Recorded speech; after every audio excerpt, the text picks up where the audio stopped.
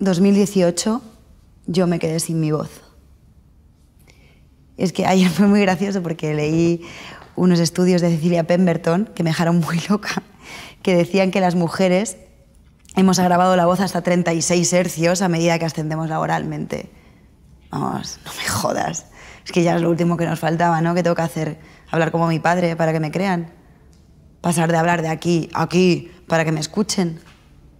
Estos estudios afirman que las mujeres que han logrado tener un rol importante, como Margaret Thatcher, han ido modificando su voz a medida que ascendían laboralmente y a medida que pasaba el tiempo. ¿En serio creéis que, que, hubiera sido menos de hierro si su voz fuera más dulce? Tontería, por favor. Menuda era. Señoras, estamos agravando la voz. ¿En serio es necesario renunciar a la voz con la que he nacido para que me crean, para que me tomen en serio, para que no me juzguen, para ascender laboralmente? Y no sé tú, pero a mí me gusta mucho mi voz.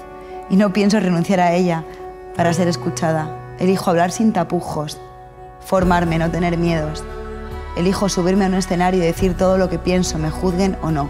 Elijo encontrar mi propia voz para decir todo lo que pienso sin llegar a perderla porque no se trata del tono. Se trata de la potencia de mis ideas, de nuestras ideas, porque mi voz es solo una entre muchas.